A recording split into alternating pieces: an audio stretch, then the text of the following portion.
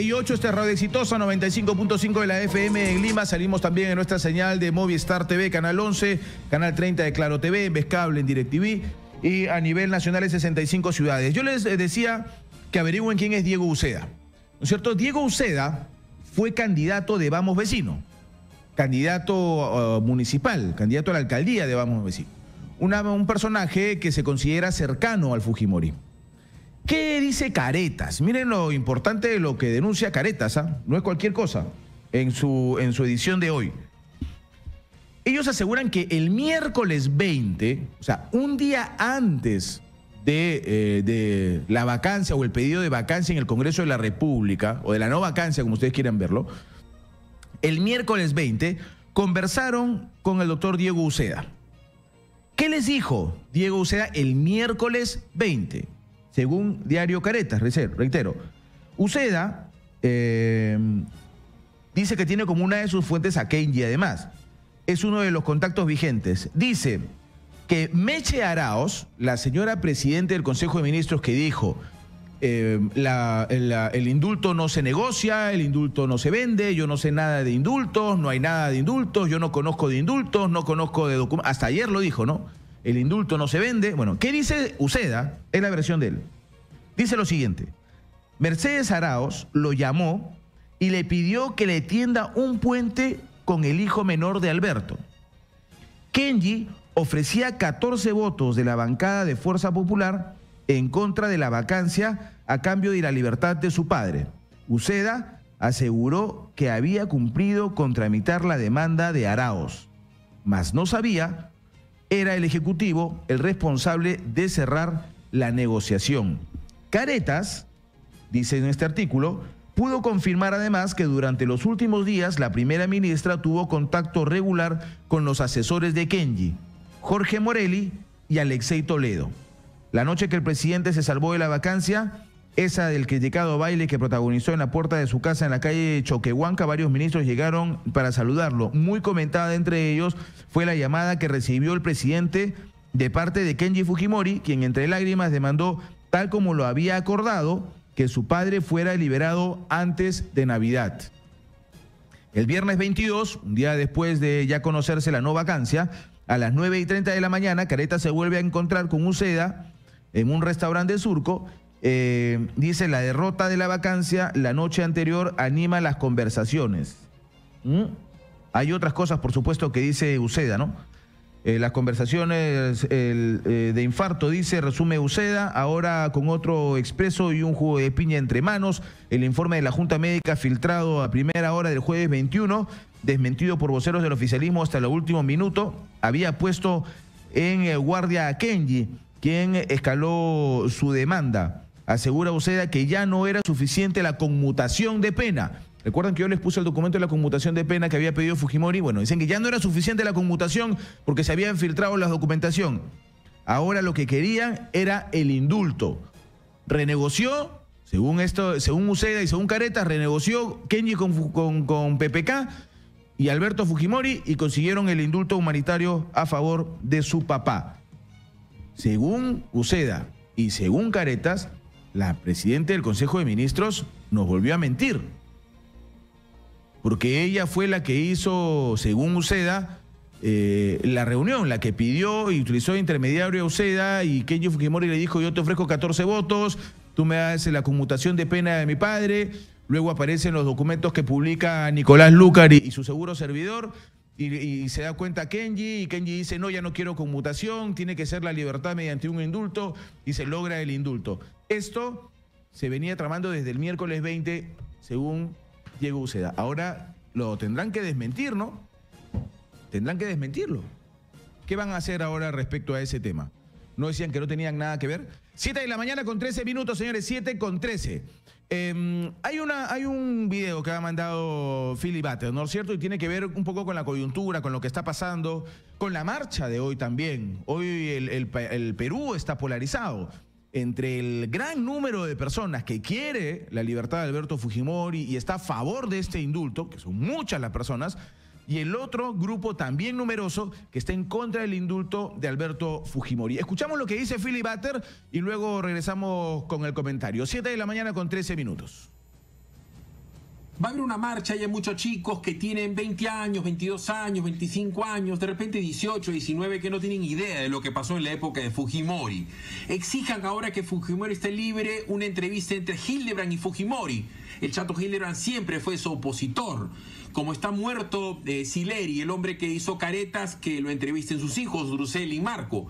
Ellos sí fueron opositores. Sería fabuloso saber que dice de privatizaciones de Cofopri Fujimori frente a Augusto Álvarez Rodich? ¿Qué dice Fujimori sobre reforma del Estado? Sobre sus asesorías a Hurtado Mire de Pandolfi a Rosa María Palacio, funcionaria egregia de ese régimen.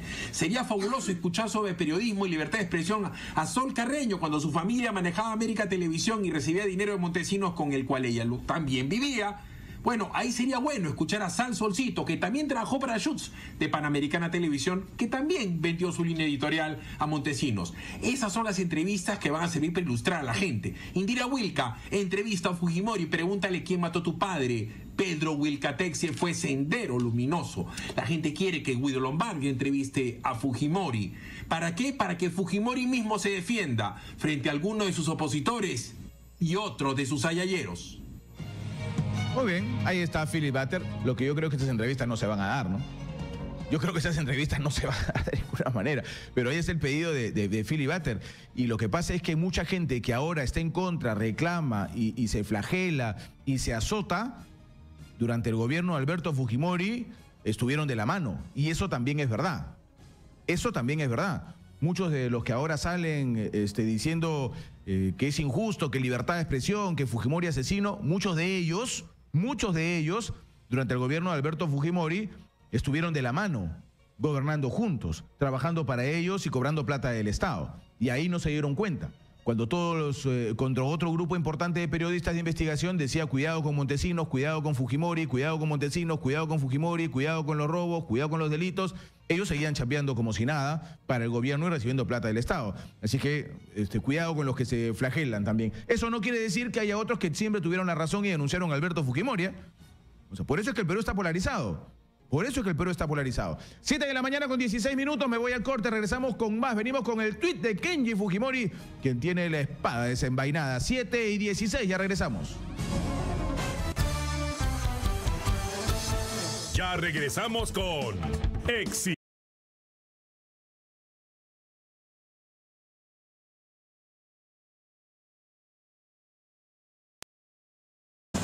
Continuamos con Exitosa Noticias.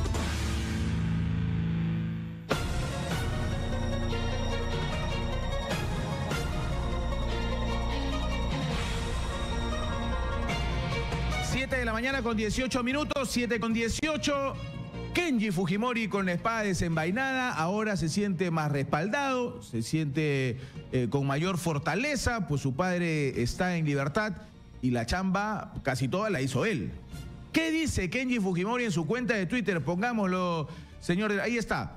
Los señores Figari y Ana Hertz de Vega han conspirado por años, dice, por años, sistemáticamente contra la libertad de Alberto Fujimori.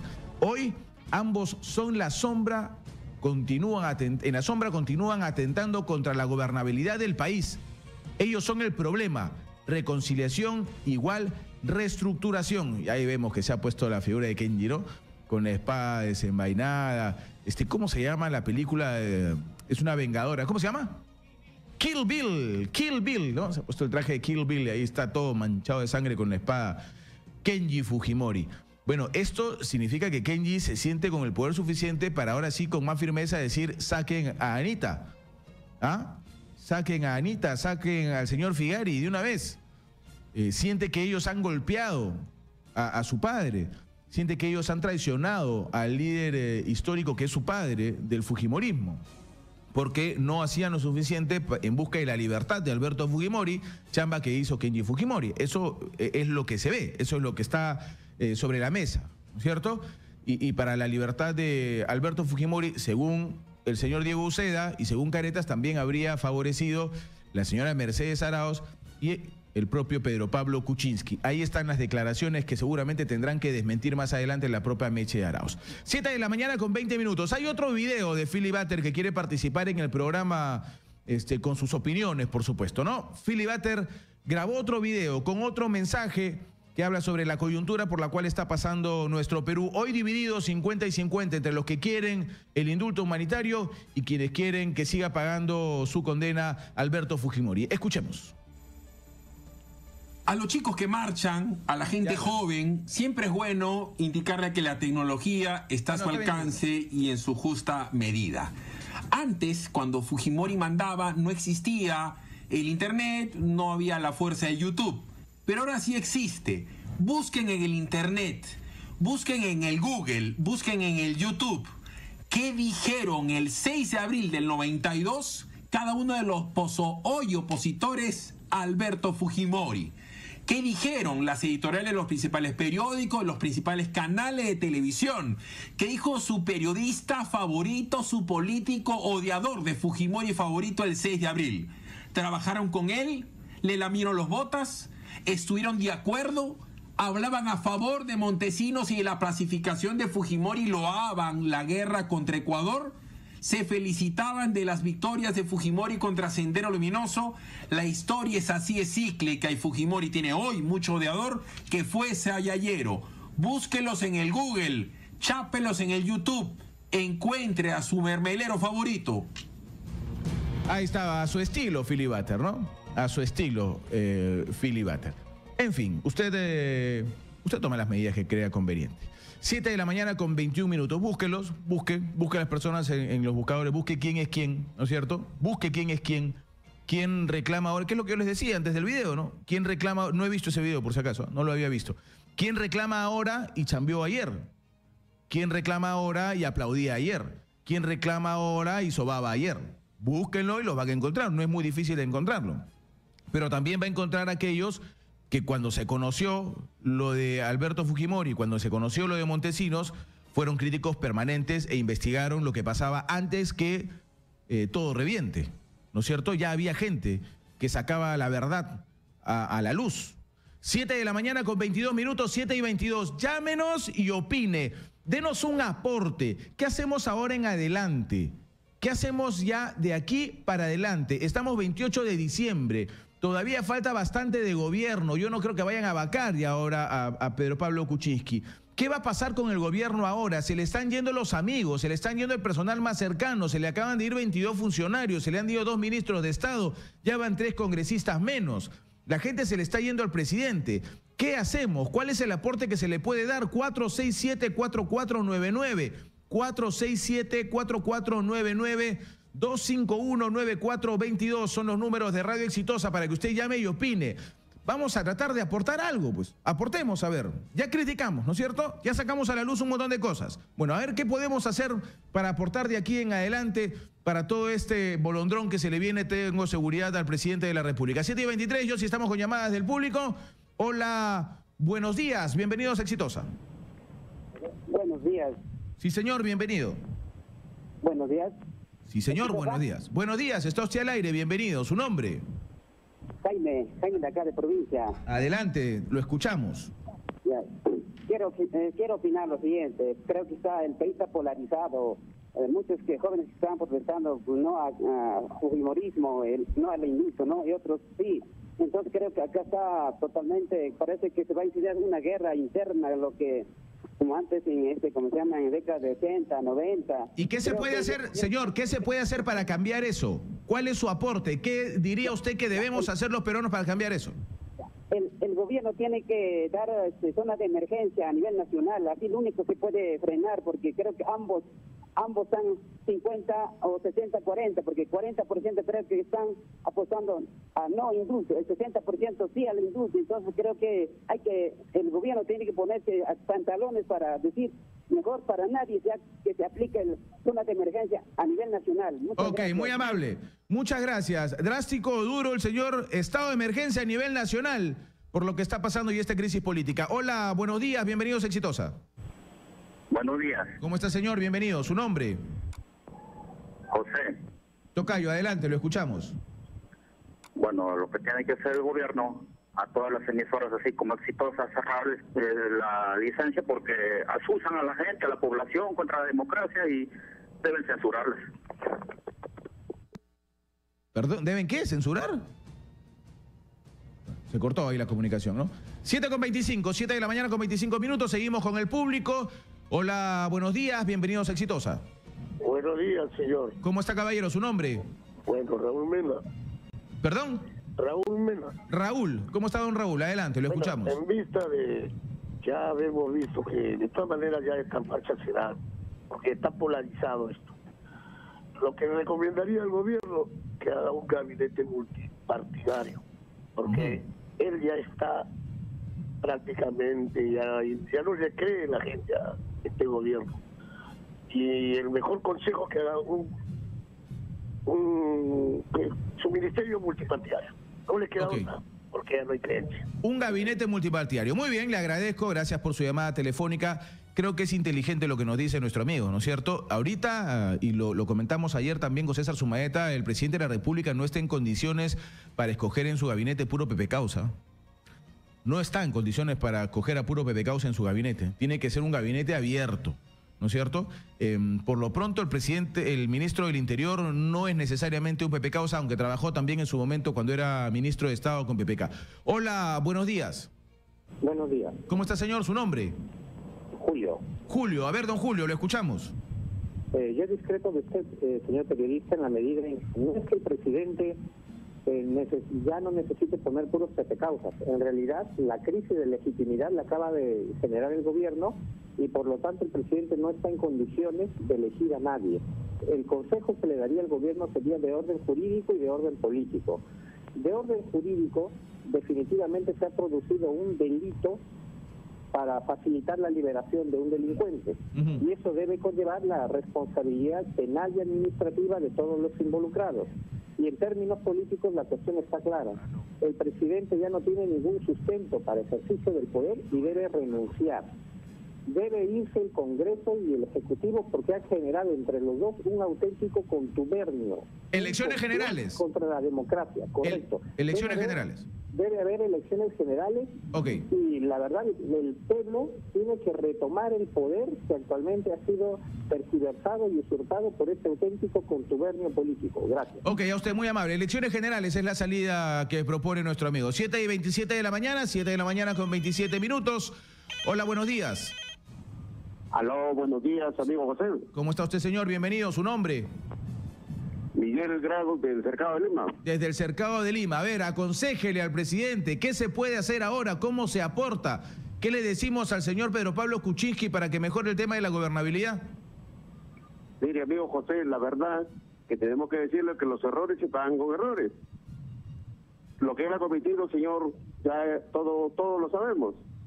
Pero lo que tiene que acá hacer el señor presidente es convocar a un gabinete de ancha base, Ujú. Entonces tenga participación política de trayectoria, no Pepe Causas. Y por ejemplo, acá yo le propongo a la señora Nel Tausen, una señora de gran convocatoria, una señora creíble. Entonces, creo que estamos en el mejor momento que el señor presidente tiene que tomar esta decisión, tiene que cambiar a la jefe del gabinete. Porque eso es lo que el pueblo está reclamando, señor. Ok. Entonces, Cambio eh, cambio de presidente de gabinete. Por supuesto, señor, un, gabinete de ancha base y, y tiene que cambiar a la señora Arauz. El pueblo se lo está pidiendo y él, si no se quiere dar cuenta el señor, sus asesores tienen que indicarle, pero parece que los asesores están igual que él en sus mismos errores. Muy bien, señor, le agradezco mucho su, su llamada. Tenemos chance para una más. El señor nos dice cambio de la presidenta del Consejo de Ministros y un gabinete de ancha base. Lo que ha dicho la señora Araos y el presidente es que juntos están haciendo un gabinete de reconciliación. Hola, buenos días. Hola, buenos días. Sí, señor, bienvenido. ¿Su nombre? Eh, Pedro, Don Pedro, adelante. ¿Qué decimos, don Pedro? ¿Cuál es el aporte?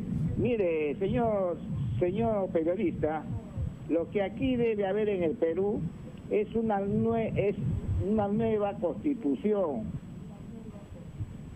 Porque aquí con esta constitución corrupta vamos a seguir así como está el país. El país va a salir a las calles, va a correr sangre, señor periodista. Y los culpables tiene el Ejecutivo y el Legislativo. Así es, señor periodista. Y usted parece ahora medio fujimorista. hasta ayer era, Hasta ayer era anti. Hasta... ¿Qué, bueno. Es que esto es así. Yo, la verdad que soy feliz porque si los fujimoristas me dicen anti y los pepecausas me dicen fujimoristas, quiere decir que estoy al centro, ¿no? Estoy haciendo un buen balance. Hasta ayer era fujimorista, ahora soy. No, hasta ayer era anti-fujimorista y ahora soy fujimorista. Siete de la mañana con 30 minutos. Más tarde, ¿qué seré? Siete de la mañana con 30 minutos. Vamos al corte, señores. Vamos. Rojete, mañana se mata ese rojo, matar ese rojo. Verónica, Verónica Lover voy a hacer más tarde. Vamos al corte, 7 de la mañana con 30 minutos, regresamos con más. No se muevan, que esto es Radio Exitosa, ya venimos. Hay una pregunta para ustedes en las redes, es importante que la puedan conocer y nos puedan responder. ¿Qué le aconsejaría al presidente de la República? La verdad que se le está viniendo el edificio encima al señor presidente. ¿Qué le aconsejaría a la población, al presidente de la República? ¿Ah? Escríbanos al arroba exitosa P en Twitter, arroba exitosa P, arroba José Rocha guion bajo A, o escríbanos en Facebook también como Exitosa Noticias, inclusive puede hacerlo en el YouTube porque estamos como Exitosa Noticias en vivo. Se le han ido 24 funcionarios, 22 funcionarios todavía. Se van a ir más ministros de Estado, téngalo por seguro que se van a ir más ministros de Estado que están muy disconformes con el accionar del presidente de la República. ¿Y usted qué piensa? ¿Qué le diría, qué debe hacer el presidente de la República? Hasta ahora han pedido estado de emergencia, gabinete multipartidario, elecciones generales, un gabinete de ancha base. 7 y 34, ¿usted qué le aconseja al presidente de la República? Hola, buenos días, bienvenidos a Exitosa. Hola, buenos días, señor Rocha. Bienvenido, caballero. ¿Su nombre? Eloy.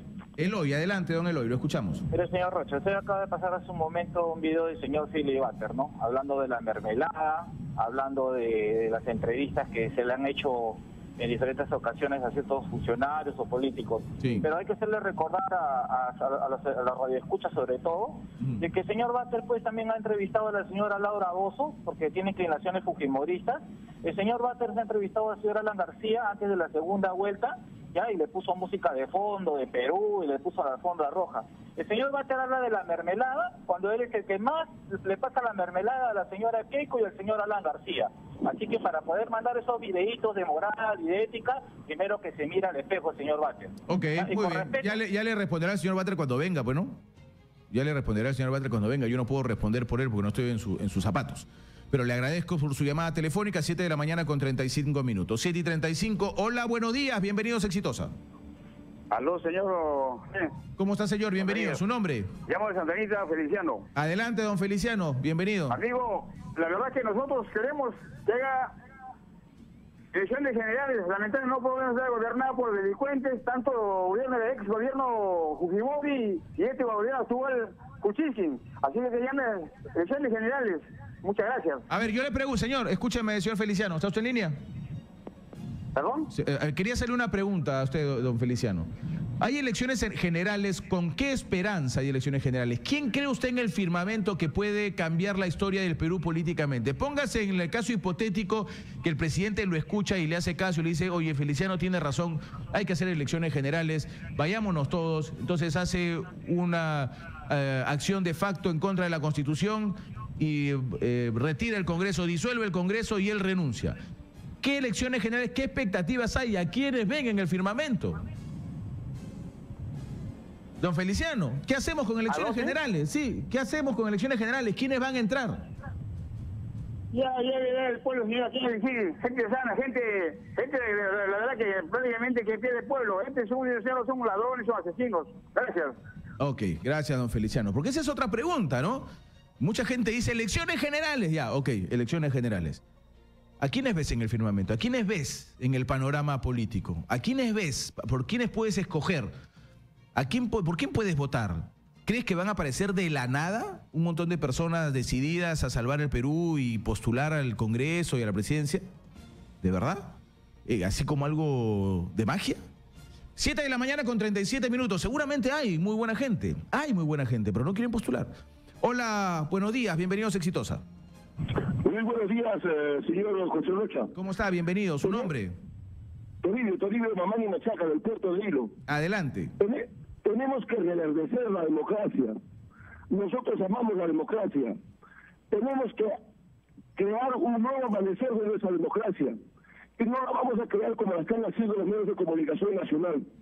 De alguna manera ustedes son un poco más democráticos, pero todos los medios de comunicación nacional están cerrando filas. Pero ¿cuál es su haya- consejo, señor? ¿Cu- ¿Cuál es su consejo desde Hilo? ¿Qué le diría al presidente de la República? ¿Cómo se puede cambiar esta historia? Que se vayan todos, señor Rocha, que se vayan Elecciones todos, generales también es un, usted. Es un gobierno corrupto, no señor, no elecciones generales solamente. Quien ha sido la partera, la partera de esta, de esta corrupción que hay en el país es la Constitución. Tenemos que ha- hacer una asamblea constituyente para cambiar todo. Luchemos por la democracia, señor, y no seamos cómplices de estos corruptos y estos ladrones que están manejando el, el país en los últimos años. Muy bien, mi amigo, le agradezco. Eh, una constituyente como la del 92 para la constitución del 93, una constituyente como la del 77 para la del 78. Ah, 7 de la mañana con 39 minutos. Hola, buenos días, bienvenidos a Exitosa. Aló. Aló. Sí, señor, bienvenidos. A usted al aire, debe su nombre. Buenos días, un saludo al señor Leche. Lo escuchamos, adelante. Mire, señor, este, mi opinión es para un, un consejo para el señor presidente. Gran, gran profesional, estudiar, y tal, y todo lo demás. Señor, el problema para el Perú, honestamente hablando, creo yo, sobre mi humilde opinión, es que está haciéndole daño comercialmente, socialmente, políticamente.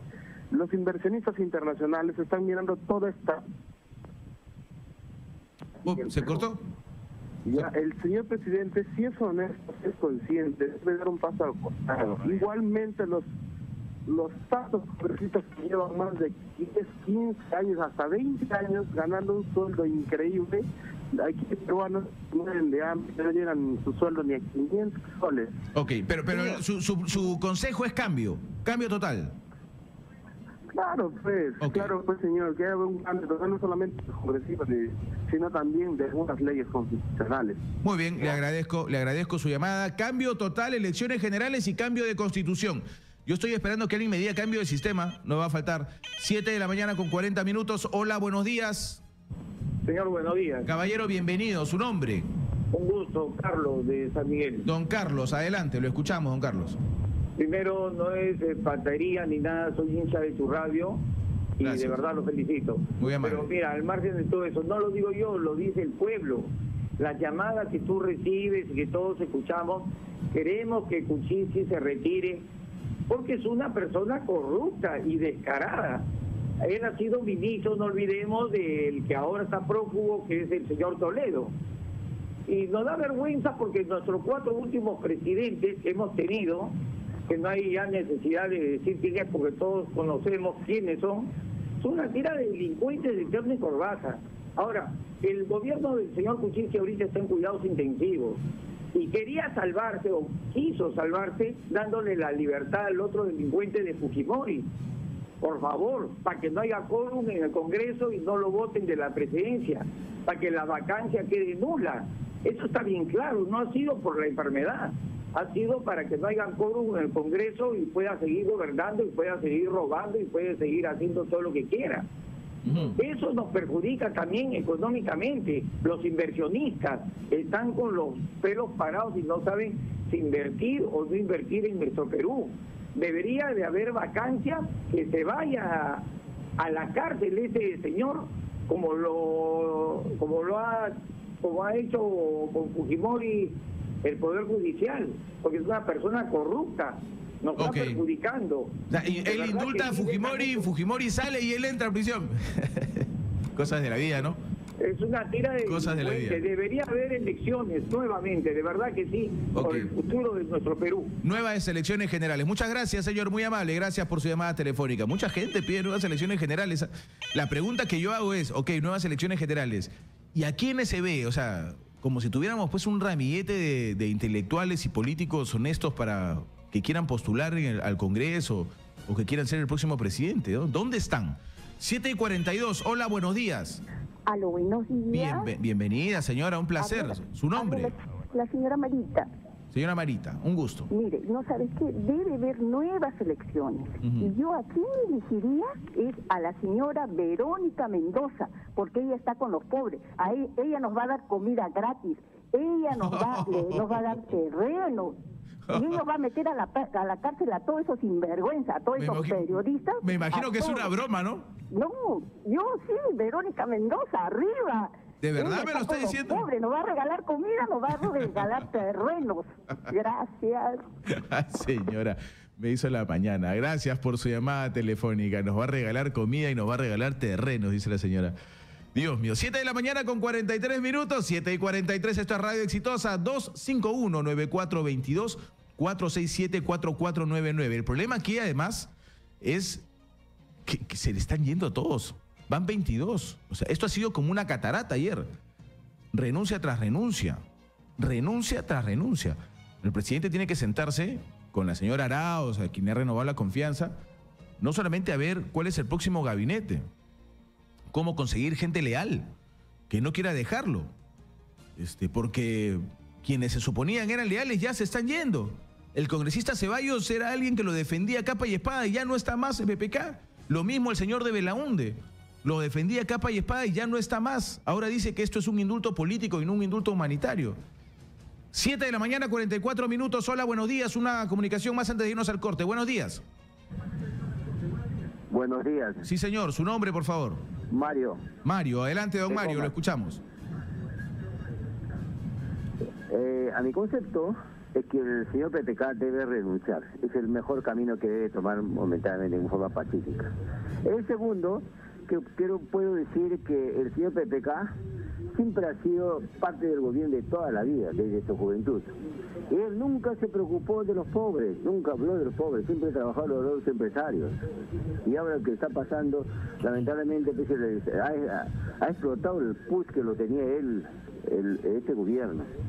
Entonces, eh, mi comentario también aparte quiero decir, el primer, la primera persona que llamó un fujimorista posiblemente que dije se- estado de emergencia. ¿Sabe qué? Esa es la que, explota el corazón que lleva el corazón que llevan los asesinos de los fujimoristas que siempre han matado a toda la gente, toda la población, tanto los senderistas, tanto los policías muertos. Por tanto, para mí mi consejo es que tiene que, tiene que renunciar señor PPK. Ok, muy amable. Gracias por su llamada. La renuncia de don Pedro Pablo Kuczynski. 7 de la mañana, 45 minutos. Me tengo que ir al corte. Regresamos con más. No se muevan. Esto es Radio Exitosa. Ya venimos.